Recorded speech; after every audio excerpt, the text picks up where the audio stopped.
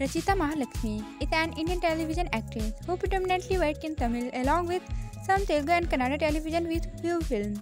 She is best known for her role as Jyoti, but gained critical acclaim as Meenachi in the popular Tamil series Saravanan Meenachi. She was also a contestant on the reality show Bigg Boss Tamil Season 3 and was later evicted from the show on day 91. Rachitha was born in Bangalore. Rachitha is fluent in Tamil, Kannada, Telugu, Hindi, Malayalam, and English. She is married to the Danish Gopal Thume, who acted as her pair in the serial. Rachita made her debut in Mega Mandala.